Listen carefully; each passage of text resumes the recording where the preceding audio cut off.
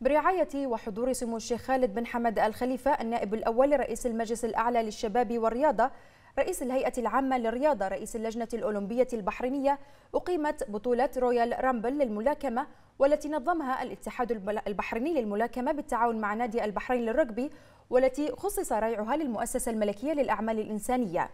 وقد أشاد سمو الشيخ خالد بن حمد بالتنظيم المميز الذي شهدته البطولة وبالمنافسة القوية بين الفريقين المشاركين في هذه البطولة والتي عكست بصورة واضحة التحضيرات الكبيرة التي ساهمت في نجاح هذا التجمع الرياضي الذي سيكون له مردود إيجابي في دعم وتطوير رياضة الملاكمة البحرينية.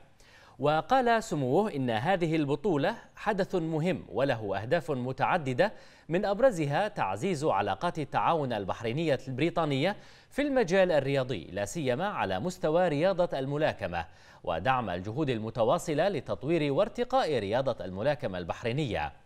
وتابع سموه إن من الأهداف الرائعة التي تميزت بها هذه البطولة هو تخصيص ريعها لدعم المؤسسة الملكية للأعمال الإنسانية. وأضاف سموه. سعدنا كثيرا بالمستوى الفني الكبير الذي قدمه أفراد فريق الحرس الملكي في هذه المشاركة وما تمتع به الفريق من وجود عناصر تمتلك القدرات والإمكانيات التي يمكن الاستفادة منها في الفرق والمنتخبات الوطنية. هذا وقد شهد سموه نزالات هذه البطولة التي شارك فيها فريق الحرس الملكي أمام فريق الجيش البريطاني.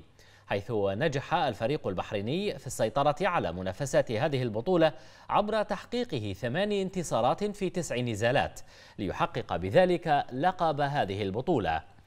وفي ختام النزالات اختارت لجنة الحكام بالبطولة لاعب فريق الحرس الملكي رشيد ميهرنفار كأفضل ملاكم في البطولة بناء على الإحصائية التي سجلها خلال فوزه في النزال الأخير أمام الملاكم هاريس كيرز.